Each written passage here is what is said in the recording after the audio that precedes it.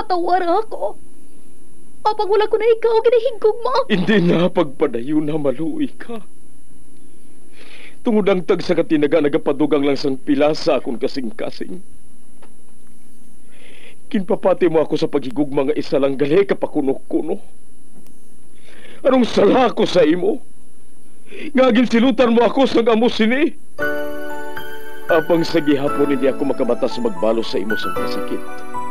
Agud mabatyagan mong nabatyagan ko. Kundiin man ako makaabot, kundiin ka man. Tanday na nga sang makaisa.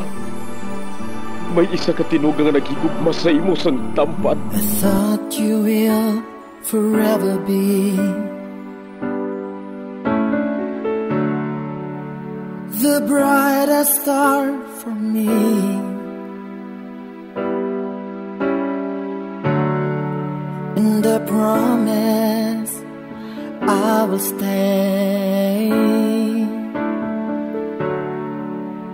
in love with you till the end.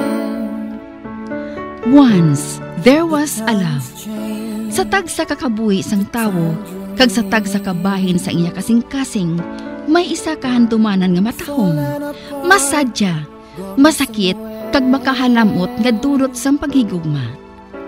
Kung kamo may handumanan sa paghigugma nga hindi malipatan, ipadala lang diri sa aton palatuntunan. Once, there was a love. Kay ina paghahatagan namon sang kabuhi para sa inyo kalingawan. Once, there was a love.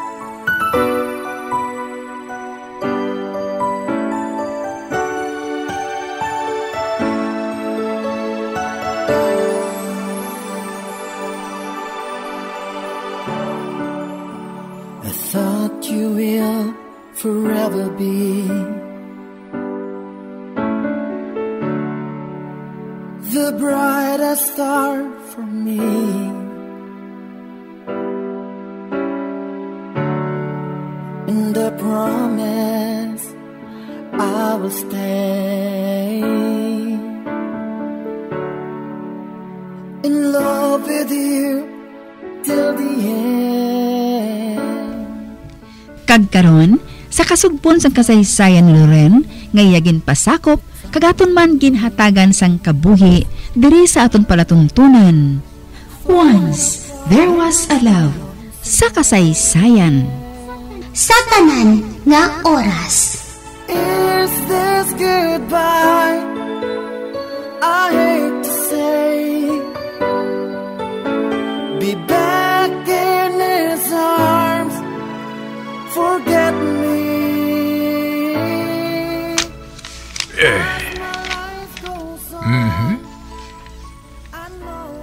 Matuod ang mga dokumento ngayon ni.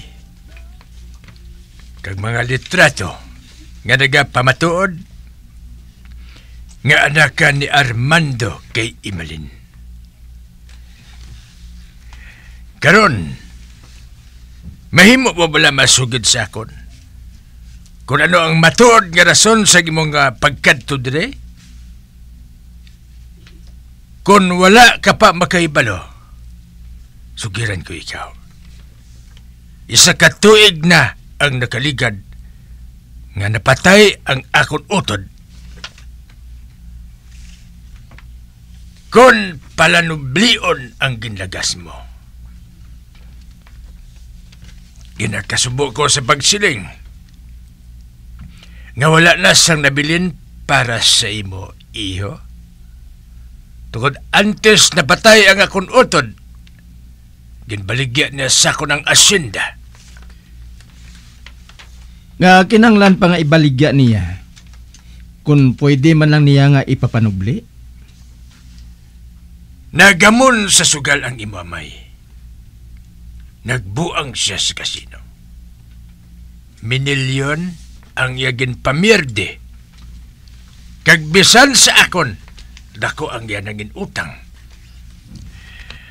Wala sang iban nga kuhaan sang iya pangbayad ang akon utod. Gani, kinbaligya na lang niya sa akon ang asyenda. Amo gali. Sound convincing. Apang hindi mo ako basta-basta lang nga mapapati, Artemio. Uh, be, Kinanglan kong pamatuod. Kag hindi ako magalintiri. Mientras hindi ko mapamatudan, nga legal ang natabo nga pagbaklanay. pamatudan ko sa imo, Alejandro. Ginasiguro ko ina. O sige. Bilang hinablos ko, mahimo ka nga makatener dire mintras gusto mo? Kag uh, siyempre, ginaagda ko ikaw sa nagahilapit ko nga kasal. Salamat. Hosta! Senyor? Opdi siya sa guest room. Kag ihatag sa iya ang tanan niya nga mga kinahanglanon. Oo, senyor. Eh, eh, makitain na lang kita karon sa panyapon. Kaga tungod las 5 pa lang sa hapon. May tion ka pa nga makalagaw-lagaw dire. Salamat, Artemio.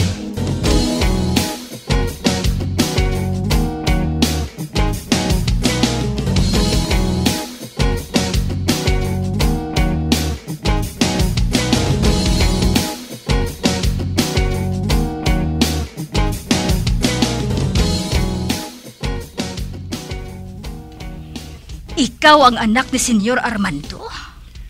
Oh, Madugay ka na nga ginahulat sang imo amay. oh, Madali lang ha. May kuhaon la ako sa akon bulsa. Ah, mm, mm. Ari oh.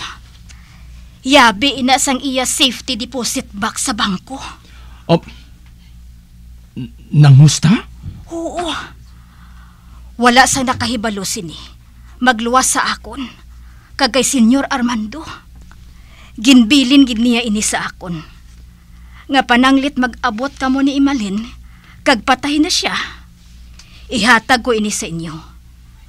Kag sugod sang ginhatag niya sa ako ng yabi nga ini. Wala ko na inigin bulag sa lawas ko. Sa kahadlok nga madula. Gani, ari, kuhaa ini oh. Oh, Salamat, Manang. Oh, Ah, sige ha. Bayaan ko na ikaw. Kung may kinahanglan ka sa akon, maghambal ka lang. ah, sige, Manang Gusta. Kag madamo gid ka salamat.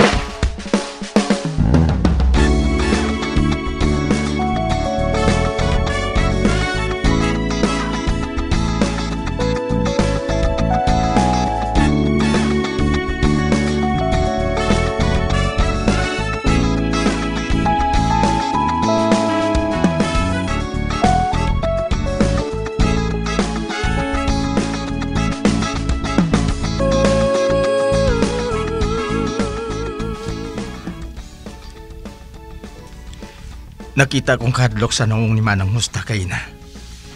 Sang makabati kami sang tikang nga nagapasaka sa hagdanan. Ganit dali-dali ini nga nagwa diri sa kwarto.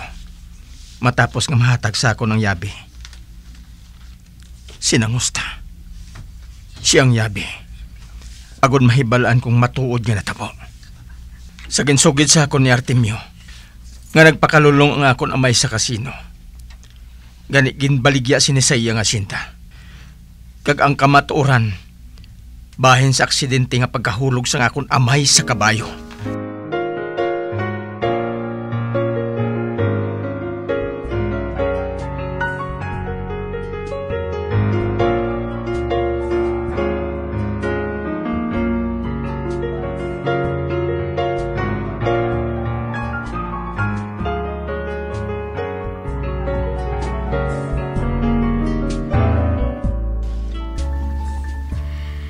Day Loren, makaon na. Nagahulat na sa kalanaan si Senyor Artemio. Kag ang iya bisita. Ah, sige nang. Masunod lang ako. Ate, sige day ah. Hambalon ko si Senyor Artemio. Ah,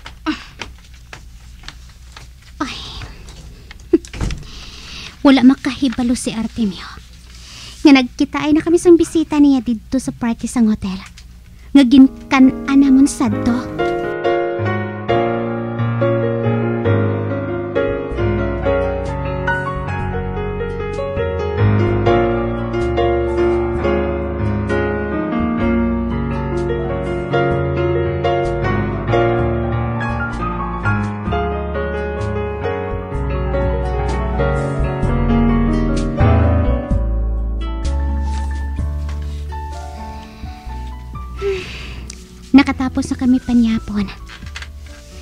Kag si Alejandro kag si Artemio.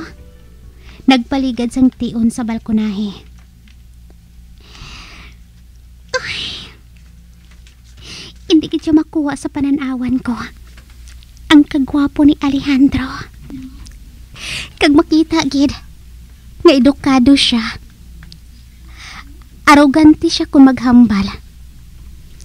Kag hindi man makatilingala tungod nagdako ini sa masulhay nga kabuhi sa Amerika. Ay, nga sagad man kuya kapaminsar sa iya?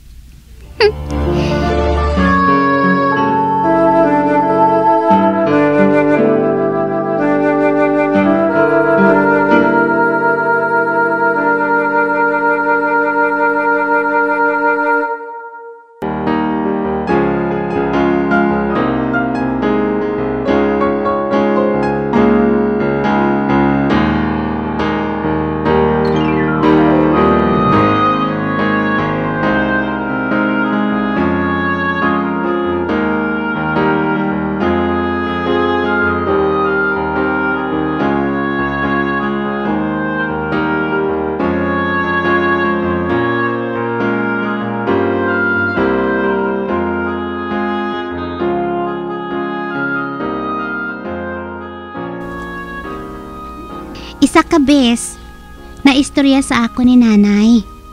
Ang bahin sa pag-angkon sang relasyon ni Senyor Armando sa isa ka anak sang mangungumad diri sa asyenda. Si Imalin ang ngalan. Kag suno kay nanay, si Imalin kuno ang pinakamatahong nga dalaga diri sang panahon sini. Apang tungod hindi sila pareho sang tindog sa kabuhi, ginpamatukan sang ila amay ang relasyon ni Senyor Armando kay Imalin. Kag bisa nakahibalo na ang tigulang nga nagadala na si Imalin sang anak ni Senyor Armando. Ginpalayas gihapon niya ini diri sa asyenda. Kag sang nadula ang mag-iloy, wala na nagpangasawa si Senyor Armando. Butang nga wala naman ginpahilabtan sa iya mga ginikanan. Madugay nga panahon na ang nakaligad. Kag kundiin pa nga napatay na si Senyor Armando. Amo man ang pag-abot ni Alejandro diri sa Asyenda Solomon. Kigambot lang.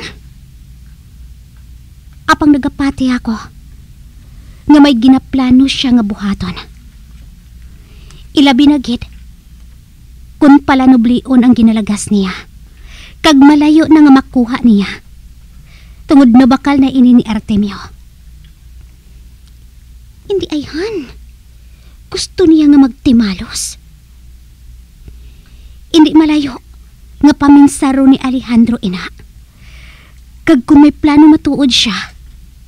Kung tani, buhaton lang niya antes ang amon kasal ni Artemio. Para nga makaangkon ako sang kahigayunan nga makapalagyo kay Artemio.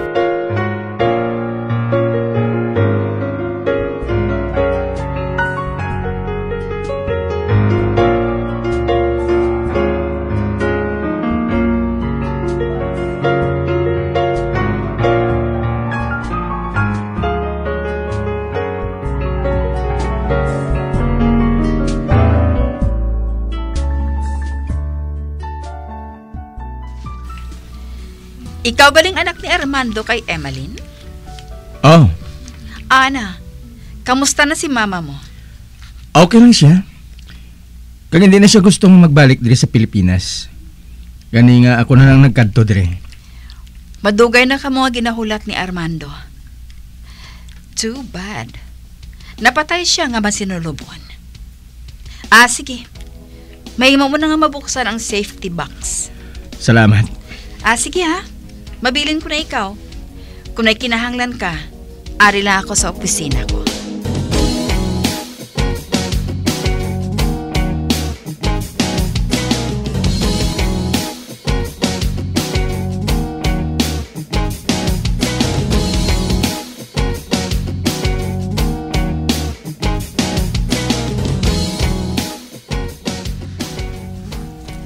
Ari ang unod sang kahon.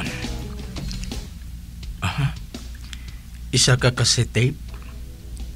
Kag mga dokumento. Ah. Amoy ning unahon ko lang tao. Up.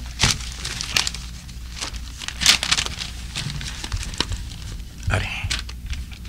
Ah? Titulos ang balay asinda. Kag sang duta nga nasakop sa asinda Solomon. Kagbaliskad sa ginhambal ni Artemio. Nga nabakal na niya ini sa utod niya. Kag makita ko dire, ang mga titulo. Nasa ilo na tanan sa ako na may sa akon ngalan. Tatlo katuig nang nakaligat. Karon, may ibato na ako. Halin sa bangko. Mapit ako sa appliance store. Mabakal ako sang gamay nga tape recorder. Dason, tawagan ko si attorney. Paibalon ko siya nga ipadala ko sa iya mga dokumento para nga matunaan niya. Kagantis ako magbalik sa sinta. Mahapit ako sa simenteryo. Duawon ko ang ginubgan sa ako namay. Tatlo ka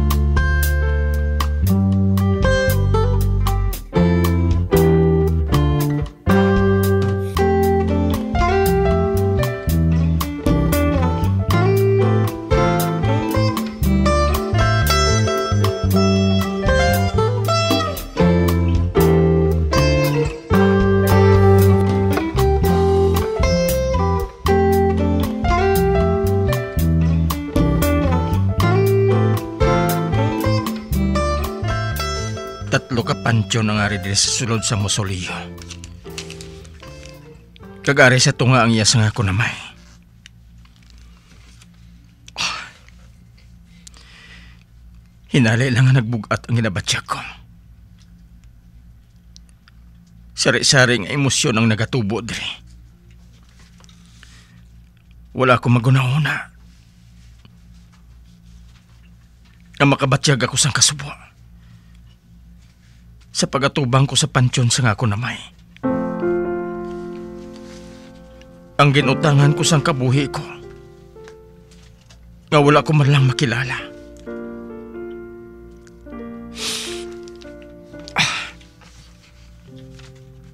Hapulason kong ibabaw sang iya pansyon. Agod ipabatyag sa iya nga akong presensya.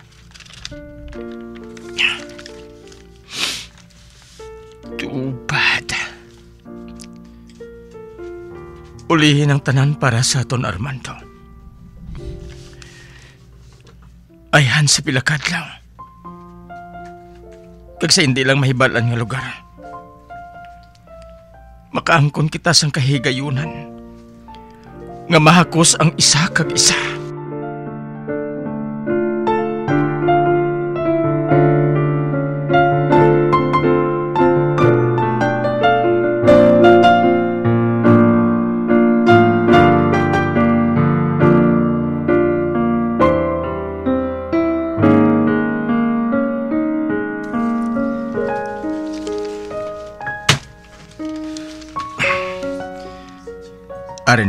Ako sa salakyan. Diri ko pamatian ang unod sang cassette tape na nakuha ko sa safety box. Nasaksa ko ng tape recorder. Karon, i-play ko na ini. Um, hindi ko babato nga si Kwayon sa akon mga ginikanan. Kag magkadto kay Artemio ang asyenda. Tugod di babaton sa kasing-kasing ko nga ang manggad sa mga Solomon makatulang sa isa ka adoptibo. Gani sa ginpapili ako kung ang asyenda o kung kamo nga magiloy mas ginpili ko ang asyenda. Kag-aral sa akong kasipan nga pangitahon ko kamo pagabot sa gusto nga tiyon para nga hinakpan ang tanan Batig ka, Imalin. Gindigot mo sa ako ng akong anak. Kag si Alejandro, gindingutan mo man sang isa ka amay. Apang, hindi ko ikaw mabasol. Nahangpan ko. Kung nga amo lang sina ang pagkaugot mo sa akon. Nagalahom na lang ako nga kung tani. Antes ako bawian sa kabuhi. Magkitahi kita nga tatlo. Kag mahambal ko sang personal. Nga mahal. Nga mahal ko gid kamo.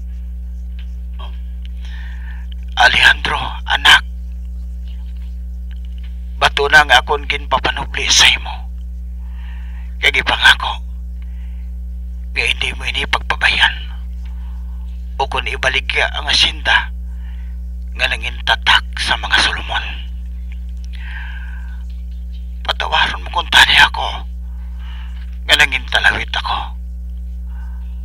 Apag ginasulit ko, mahal, nga mahal ko kamo sa ngiloy mo. Old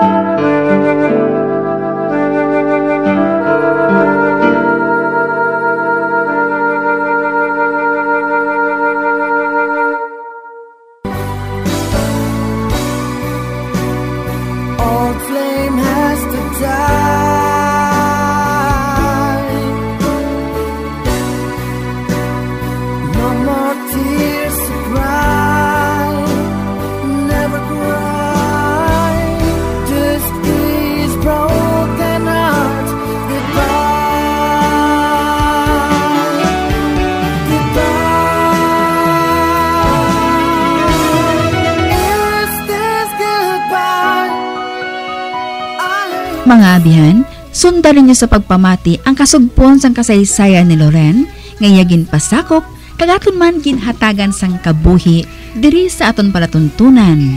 Once, there was a love sa kasaysayan Sa tanan nga oras. sa direksyon ni Marnie Mungkal.